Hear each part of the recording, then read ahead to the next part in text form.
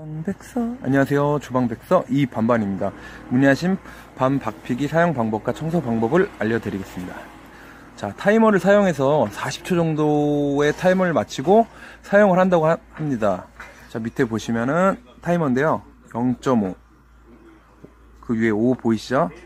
그쪽에 세팅하게 되면 한 28초에서 38초 정도 세팅이 됩니다. 지금 보여드리려고 한 5초 정도 세팅을 했는데요. 작동을 한번 해볼게요 자, 위에 스위치를 왼쪽으로 돌렸을 때, 자, 기계가 돌아갑니다. 어, 무섭게 돌아가죠. 자, 소리 들리시죠?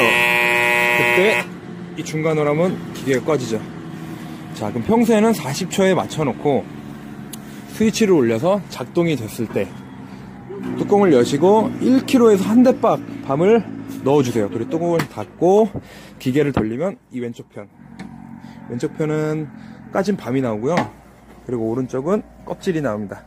이 껍질 부분은 바람이 같이 나오기 때문에 마대를 사용해서 입구를 봉해주시고 하시면 됩니다.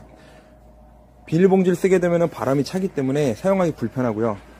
자 그리고 위에 이 뚫린 부분으로 밤에 한 80%에서 90% 정도 박피가 됐을 때 꺼내서 사용하시면 됩니다. 나머지는 칼로 좀 이렇게 작업하시면 되겠죠? 자, 청소에 대해서 알려드릴게요. 청소. 자, 이 뚜껑을 결합된 부위를 열어주시고요. 이쪽도 열어주시고. 자, 항상 손 조심하셔야 됩니다. 칼날 돌아가시는 거 보이시죠? 항상 손 조심하시고. 자, 이 윗부분에 밤 진액이 낀다고 하네요. 그래서 매일 청소하는 게 좋다고 합니다. 자, 청소 방법은 칫솔, 칫솔에 물을 묻혀서 청소를 하시면 됩니다. 자, 그럼 여기까지였습니다. 감사합니다.